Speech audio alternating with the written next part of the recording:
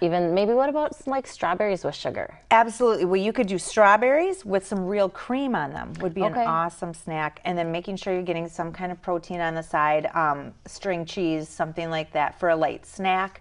Um, the other thing to do if you're feeling kind of like you need a boost, honestly, is to drink water.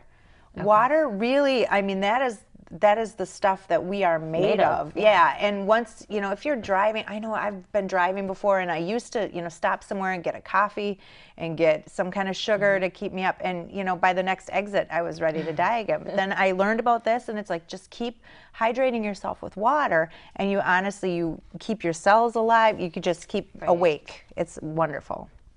So, in addition to stress, you know, causing all of these mood swings and everything, it ages us too. Yes. Are there certain foods that age us? Mm-hmm, absolutely. Yep.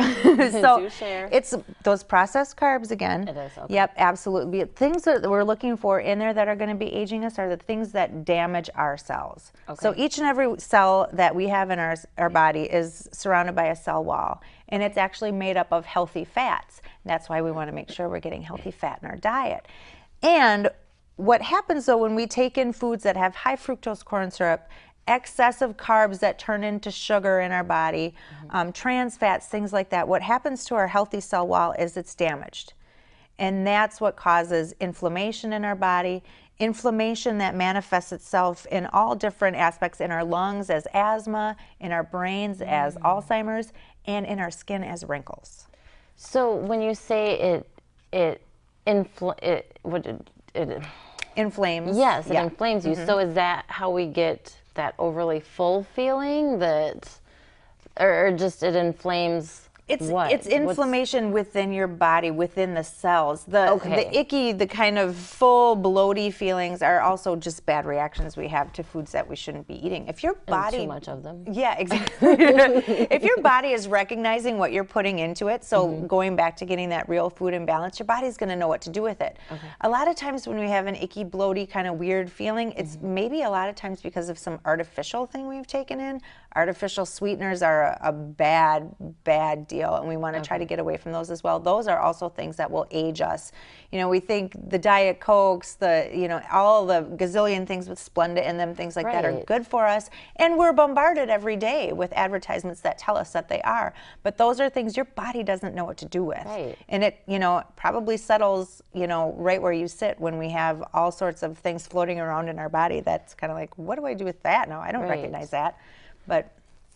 So, nutritional weight and wellness is a big part of FM 107, Yeah, correct? yeah, Correct? absolutely. Tell me about that. What do you guys do with that? We have a radio show on Saturday mornings from 8 to 9. It's so, it's your own show? Yep, it's called Okay. Dishing Up Nutrition. Oh. And we talk about all sorts of these kind of topics. Um, we, in, let's see, coming up in April, I wrote down some of the topics because I knew I wouldn't remember them all.